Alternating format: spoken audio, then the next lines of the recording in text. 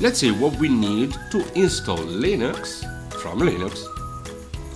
We need a PC with a Linux distro installed, like Ubuntu in this case. A flash drive or alternatively a microSD, both of them with at least 8 GB of space. The ISO file of your favorite Unix system. First of all, we need to download the software that allows to create a bootable USB drive for Unix systems.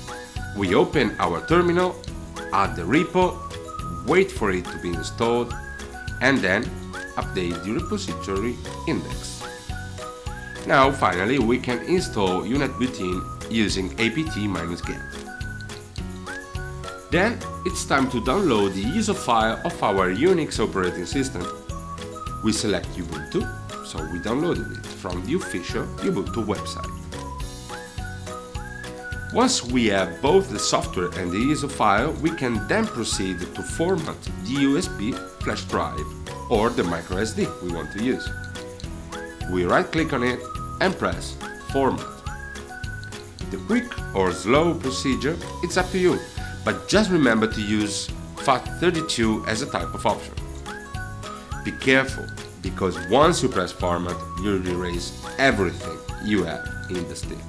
Last thing we need to do is check the name of our destination media. Go to terminal and type df space minus h to show the list of all devices connected to your PC. Locate your device, in this case SDB2. Good! Now we are ready to open UNetBootin and actually perform the operation. UNetBootin allows you to select your own distribution in case you didn't download the ISO file. Instead, we are going to use the disk image. We locate and open the ISO file and we make sure that we selected the correct drive. Once pressed OK, the installation will begin. Will take some time, so just be patient, drink a coffee and wait for it to be done. And that's it.